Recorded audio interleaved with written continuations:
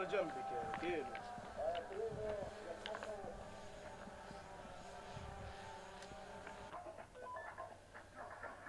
معلوش شارك وين انت؟ אנו דורשים מכם לפנות את השטח הפלסטיני שאתם נמצאים בו. אני אזרח פלסטיני, חי תחת כיבוש המדינה המחורבנת שלכם.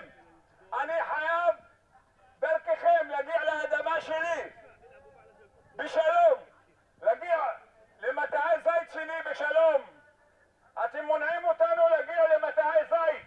אתם לא נותנים לנו להגיע לאדמות שלנו. בושה וחרבה.